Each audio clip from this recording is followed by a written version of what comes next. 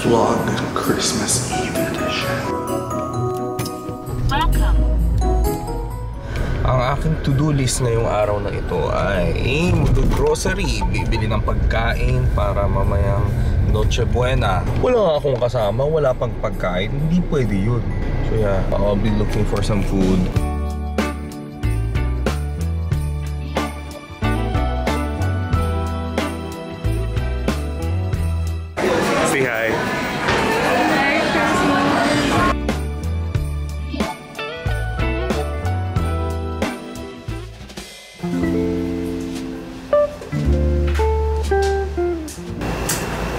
My latest addiction is actually incense sticks. I don't know, like, can you guys please comment down below if incense sticks are okay for health? Merry Christmas! Exchange gift po sana kami ni Kuya, eh, tapos bunutan kami. Bunutan ng ano, buhok. Kami dalawa. Bunutan kami, secret Christmas gift. Pero dalawa lang kami maglalaro. Maganda yan, maganda yan. Hindi mahulaan. Patingin, pakapa. Hindi ko talaga mahula. No clue. Secret, no clue. Baka mamaya masisira ko to ah. Kakaganito ko. Kakapisil. Baso nga yun. Baso! Semento yan, semento. Oh my god! Pinoy spaghetti! Let's go! Shanghai. Ano to? Ang daming corn. May ibon ba dito?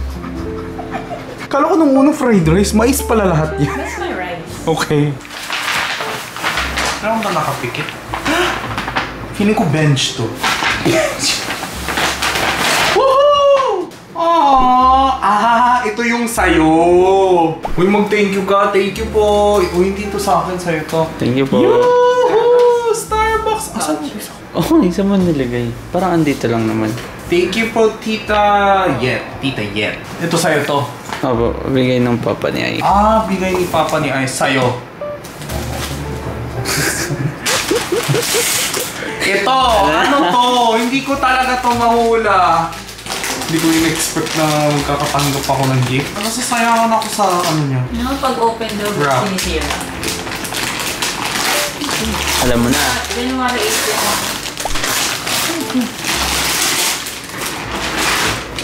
Sa bag. Oh! It's a bag! Akala ko kung ano, ah, parang apron siya. Sabi ko, hindi na... Wow ah! Ang ganda ng bag, ah.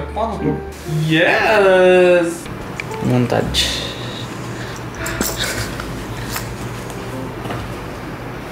Grabe. Ilang pockets to? Maraming. What's in Kevin's bag? Thank you po ate. Kamsamida. Ketchup lang. Kulangan mo to ate. Baso to, no? Oo. Woo! Ay, couple na kayo ni ate. Thank you po ate. Gusto ni Kevin yan. Yung sa akin kasi yung size na pambabae. Yung sa akin pambabae. Woo! From Papa ni Ice. Wow! Dude, that's nice. Huh? Thank you po tito. Ayan. Sakto. Thank you po. Naiya siya. Okay na.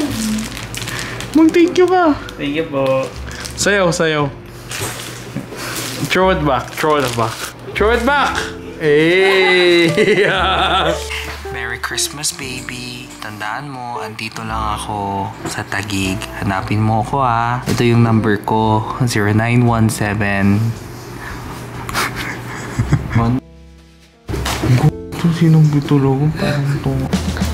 Merry Christmas, guys! Kinagaya ka na pagbibideo mo ako.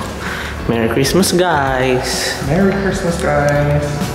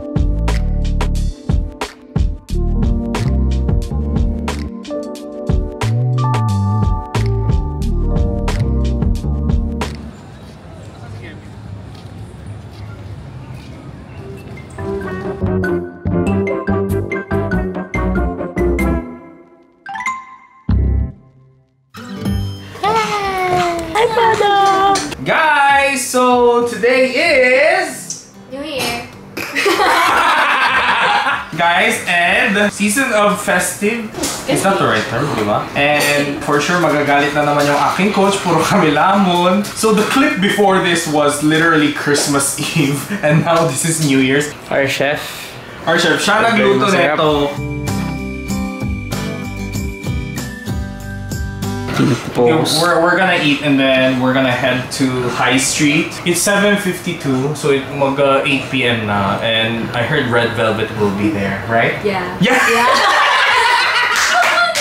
Kumain ka. Opo. Okay guys, kain lang kami. Hey! Bebe lang. Door and turn the lights now. Oh, baritone. Before we go out for count countdown, oh, shot muna kami. Shot!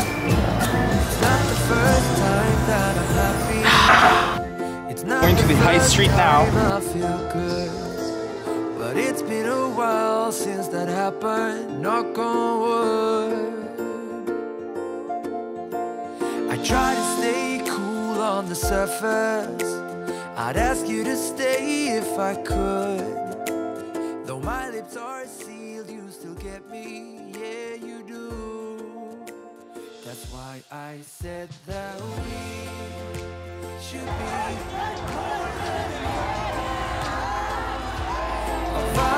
than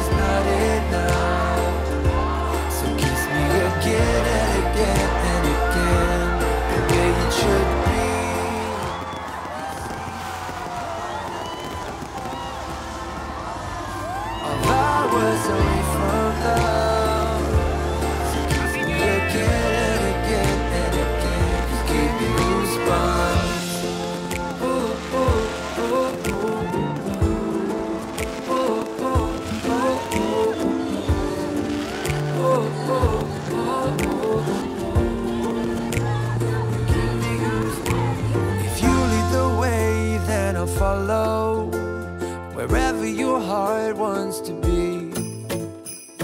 So, yan nga po guys. Thank you guys so much for watching. Yan po yung aking vlog at footages kung paano ko na-spend ang last week of 2023. And right now, it's currently January 1 of 2024, 1.14 a.m. as you guys can see. And yeah, I just wanna thank everyone for supporting my channel. Kahit malaki man yan or maliit yung views, I don't really mind. Kasi para sa akin, it's all about sharing memories, recording my story. And it's almost like a diary of mine. And you guys are being part of that. So marami raming salamat po lagi sa mga kind words nyo. And yeah, 2023 has been definitely a year of opening doors. Kung 2022 medyo naghirap ako sa depression, mga ganon, 2023 was all about opening doors, new doors for hosting. I shot a movie which is yet to be released and also I created my first ever original single as well. So I hope 2024 will be all about blessings naman. So yeah, I'm always praying for